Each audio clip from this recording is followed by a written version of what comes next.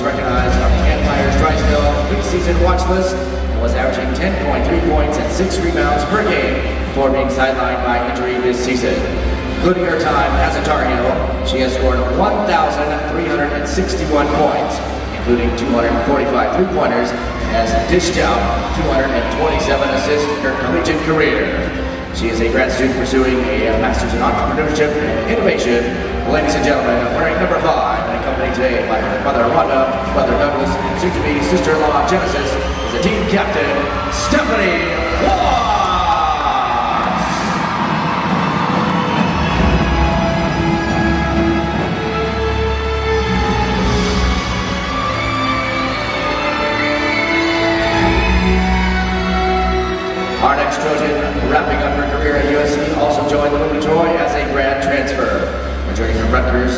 State led her to USC this season, where she has come up big for the Trojans. In her single season as a Trojan, she was instrumental in USC's win over the Bruins, hitting six three-pointers in that game, set her USC high at 27 points.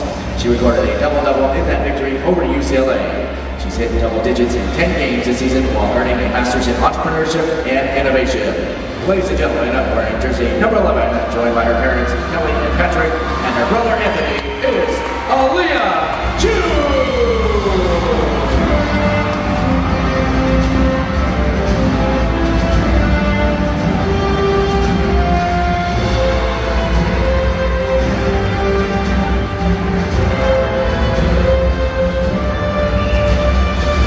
The final Trojan on our senior list came to Troy from Vanderbilt as a junior.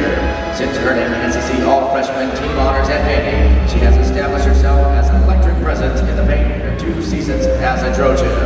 Versatile lefty is a relentless defender, having recently nabbed a career-high five steals in USC's win at Washington State. She's hit double digits in seven games and has started the last 22 games for the Trojans. She's currently earning her degree in history.